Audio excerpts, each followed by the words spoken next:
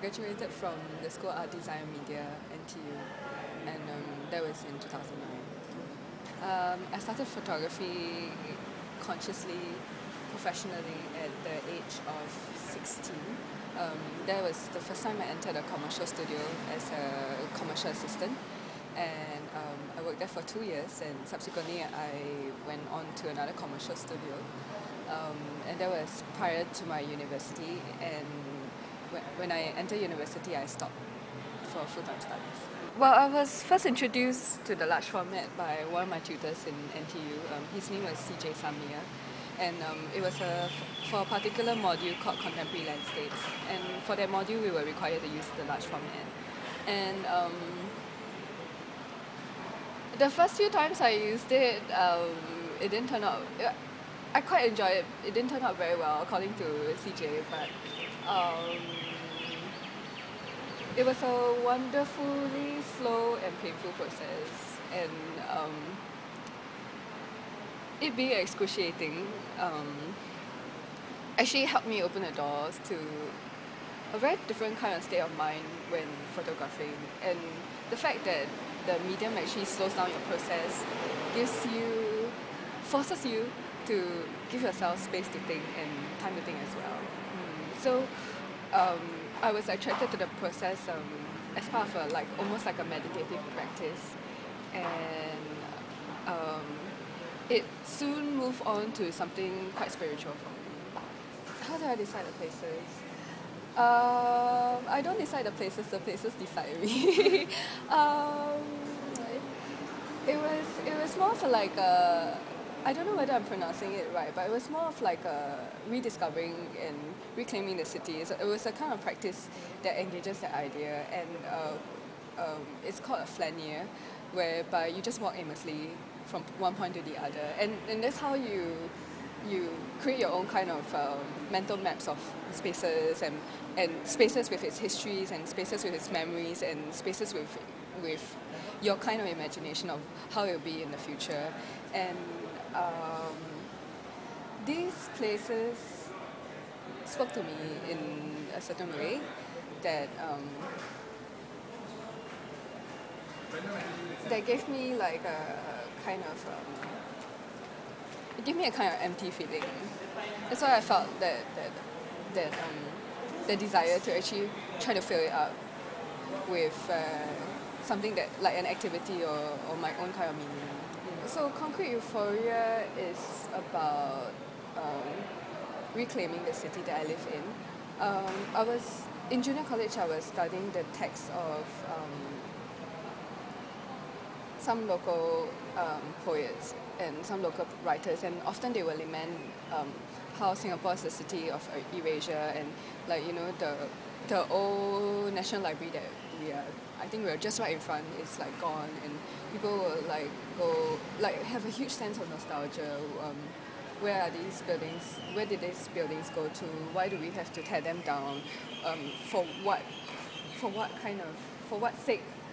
Or for what sacrifice are we having in pursuit of that kind of progress to like a kind of modernity? And it is a very like the whole idea of skyscrapers and, and big cities and bling is, is a very Western idea of of um, a developed country or progress. So so for me using the camera to actually document this, um, I use the word document because it's, it's a kind of record, but I will talk about that later.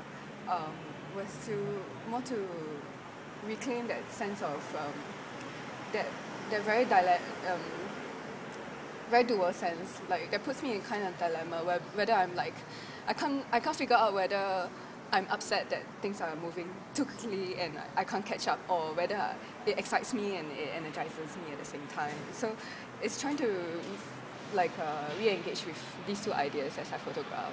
For this piece of work, difficulties, um, I think editing is one of the most difficult parts because at the end of the day, like um, there'll be tons of images to have to go through.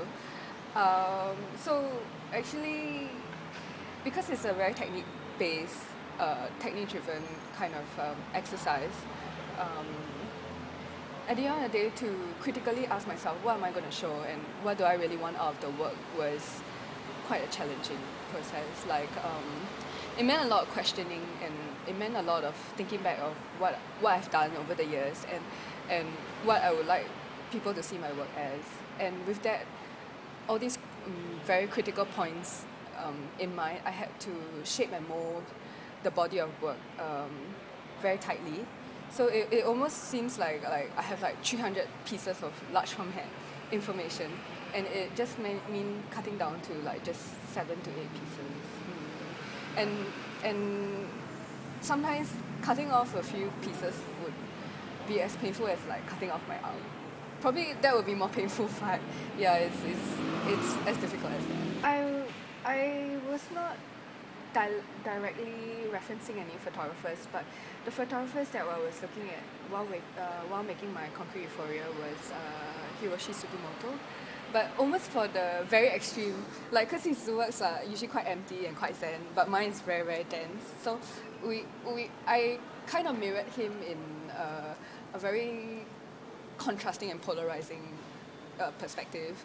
And then the other was uh, Andreas Gursky um, for his very, very dynamic landscapes with uh, very dense details and um, things just um, like the entire frame being filled with many, many details that, that actually caught me. And, and that whole idea of looking at things from a very macro level, from some, some somewhere, a perspective that's really far away, mm, and looking at scale as well. Title is The Wax on, my, on Our Fingers. Uh, it's a direct translation to the Indonesian title, which is um, Malam di Jari Kita. Malam meaning um, in Java, meaning two, it's like a pun, it's, it means two meanings. Um, one, it means night, and one, it means like the kind of like wax that um, people who make batik use. And then, um, so Malam di Jari Kita could mean the wax on my, our fingers or the night on our fingers. And um, it, it was a, a social relational approach to thinking about uh, culture that is considered dated and communities that are considered left behind. And um, it was also a kind of project where I tried to re-explore a sense of self and a sense of learning in my work. One time, uh, we we strictly wanted to use the same kind of medium that the ladies were using because we didn't felt, feel that with the, the kind of time that we have and with the kind of um, materials that they have been using every day, we, we felt that it was not fair to make them learn something new. And uh, instead, we had to make our own sacrifices, and it turned out to be very positive for us also that, that we put our, position, our own positions into learning something new for them. So uh, it turned out that, that cyanotype was the best medium to engage in the same medium that they worked with every day, which is like cotton material. Yeah, and for that, to be able to combine a photographic process onto cotton, um, cyanotype was the most readily available in Indonesia. The batik makers in Java, for a very, very long period of time, remain very anonymous. So when you think about batik, we think about big brand names or big owners of batik, like, um, and they will somehow be the patrons of batik, uh, the like extremely rich, and they will somehow be getting that whole image and um, grandeur and status of batik uh, onto themselves, but only for the sake of ownership. Um, so many oftentimes, like people do not know who are the people who actually make it. So by putting their portraits in front of their work, actually consciously state that hey, this piece of work is made by this person, and it was a form of recognition, um, a form of celebration, and also a form of identifying these people. Mm and immortalizing them in, in art and in photography. The biggest challenge for me was the, the fact that I couldn't speak Javanese. And it wasn't just Bahasa Indonesia, it was like a dialect, it was like Javanese, uh, which was commonly spoken in the village. And when I went there, I had to work with a translator. So um, many times there were a lot of miscommunication, like things were lost in translation, and there were there, there were a lot of misunderstandings. Um, towards the middle and towards the end of the project, I actively picked up the language myself, so it became simpler towards the end. Um, communication is one problem. Second problem was technique because um,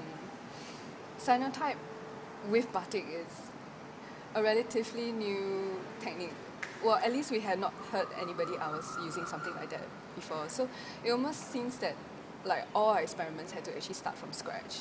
And um, being able to actually balance that two elements onto one piece of medium was really difficult because for one, um, like as Kabul mentioned in the, the lecture, um, batik kills cyanotype and cyanotype kills batik. They, they are always at loggerheads with each other, mainly because the batik process requires boiling, really, really high heat, and cyanotype cannot take high heat, and cyanotype bleeds into the colours bleeds into the batik and it gets in a very strange mishmash.